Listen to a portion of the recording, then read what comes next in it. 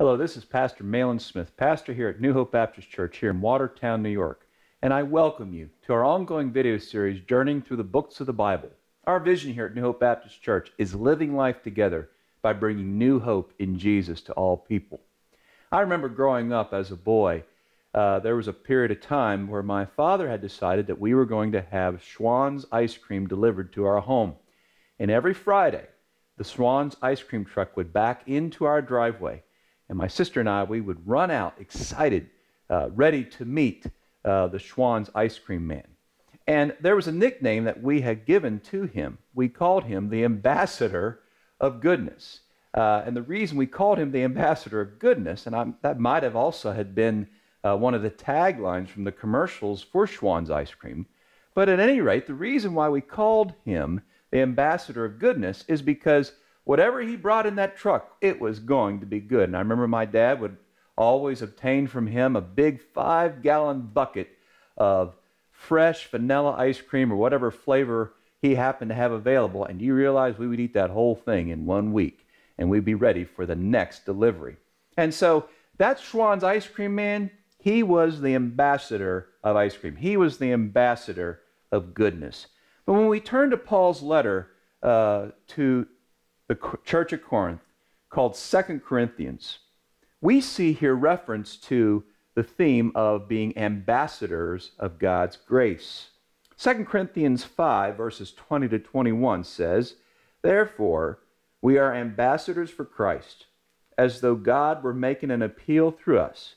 We beg you, on behalf of Christ, be reconciled to God.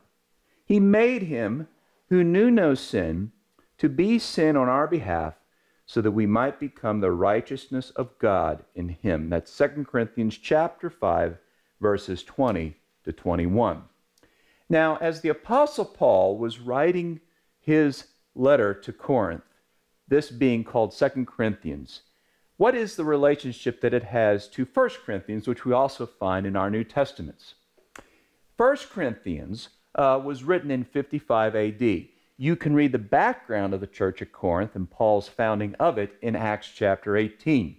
Now, we understand, and we're not going to get into all the details about this, uh, but we understand in particular passages such as 1 Corinthians chapter 5, verse 9, uh, that there had been at least one other letter that Paul had written to the church at Corinth that we don't find in our New Testaments. And in this letter, he had evidently had addressed some very serious problems. And so here in 2 Corinthians, uh, reference is also made to that letter. Matter of fact, uh, Chuck Swindoll uh, proposes that there may have been as many as four letters that uh, the Apostle Paul wrote two that are unknown and no longer existent, and then, of course, the two that we find here in our New Testaments. So, whether Paul ultimately wrote four letters, some have suggested maybe three letters. Uh, Paul does make reference here in 2 Corinthians uh, chapter 2 uh, as well as chapter 7, verse 8, uh, he makes reference to a letter that he had written prior to 2 Corinthians that he calls uh, the letter of sorrow. Now, whether that was 1 Corinthians or another letter uh, that we no longer have uh, existing, whatever the case may be, Paul was intimately concerned about Corinth. Out of all the churches that Paul ministered to, he had spent the most time at Corinth. If you read Acts 18, you discover Paul had spent up to a year and a half in Corinth, planning the church, establishing the church, making sure that it was on its way. But this church, uh, it was born out of a Greco Roman pagan background. And of course, uh, trying to shed uh, those former behaviors, those former ways of life, uh, was a very difficult process. Now, as we saw in our last video, when we looked at 1 Corinthians, the theme there was that of the call to sanctification. We come here to 2 Corinthians, and we find out that the theme is being ambassadors of God's grace. Because after all, we can't live the Christian life apart from God's grace. So the letter of Second Corinthians is all about showing the Corinthians and Christians who read this letter what it means to be an ambassador for Christ. Now, if we were just to offer a quick outline of this letter, it would be as follows. In the first two chapters, we see how the God of grace calls us to live in his love. You can't be an ambassador, you cannot be a representative of God in Christ Jesus, lest you have his love flowing through you towards others. Then in chapters 3 to 7, we see how God has called us to be ambassadors of what Paul refers to as the new covenant. Now, the new covenant uh, has to do with the Holy Spirit's indwelling us. Uh, the new covenant is referenced in Old Testament passages like Jeremiah 31. And basically, the new covenant describes the context in which the Christian is living out their life with God in this world. Then, in chapters 10 to 12, we see Paul referencing God's call on himself. One of the things that you discover in 2 Corinthians is where Paul is defending his apostolic credentials because unfortunately there were false teachers that were creeping in at Corinth and they were claiming themselves to have apostolic authority and then they were trying to cast doubt on Paul. And so Paul had to defend his apostolic credentials. And that's what he does in chapters 8 and 9, and then more so in chapters 10 to 12. And then the final chapter of 2 Corinthians, 2 Corinthians 13, it finally urges us to examine the genuineness of our calling in this grace. Again, if we are going, if we are going to be a, uh, ambassadors of God's grace, uh, we better make sure that we have experienced it ourselves. Now, one of the things that I find very interesting about the book of Second Corinthians are the references that we find to the Lord Jesus Christ. Now, I have them written down here. Now, we're not going to go through all of them in this video. I'm just going to point out a couple of them. But for example, in 2 Corinthians chapter 1, uh, verse 20 to 22, for as many as are the promises of God, in him they are yes. Therefore, also through him is our amen to the glory of God through us. Now, he who establishes us with you in Christ and anointed us is God, who also sealed us and gave us the Spirit in our hearts as a pledge. At 2 Corinthians chapter 1, verses 20, 21, and 22. It's interesting how the Apostle Paul makes references to all three persons of the Trinity. He makes reference to God the Father, the Son, and the Holy Spirit. But we see how Christ is described as a member of the Trinity, we also see reference to how Christ is the yes to all of God's promises.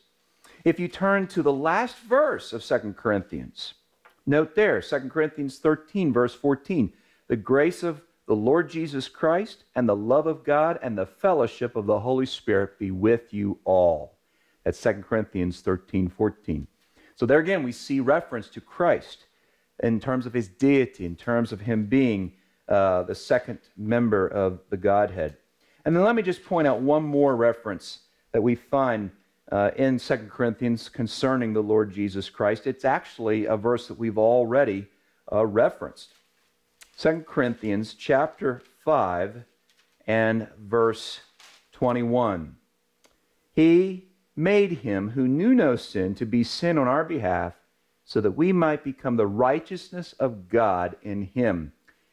This verse, 2 Corinthians 5:21, describes how when Christ died on the cross, how our sin was credited to him. It was reduplicated in him. He chose to be treated just like us on the cross, so that in saving faith, his righteousness could be reduplicated and credited to us. And therefore, what 2 Corinthians 5:21 shows us is the foundation for redemption and justification, which we talked about in the last video, namely where God makes a legal declaration of the, of the sinner being a saint and how we are credited with the righteousness of God. And that, of course, only takes place by grace through faith alone. So I would urge you, uh, just pause the video if you need to and mark down all these verses. And I would urge you to read them since they all refer to the Lord Jesus Christ. The book of Second Corinthians is an incredible letter. Uh, if you were to read it from beginning to end, it would take you less than 30 minutes. But I will tell you this when you finish reading this book, you will have a better grasp of what it means to be an ambassador for the grace of God. It really equips you to be able to know how to carry oneself, how to communicate the gospel as a follower of Christ in this world because, after all, uh, people need to hear about the grace of God. And there are no better persons to communicate the grace of God than those who have experienced it by grace through faith in Jesus Christ. And so, that in a nutshell is the book of Second Corinthians. I commend it to you and thank you for taking the time to watch this video today.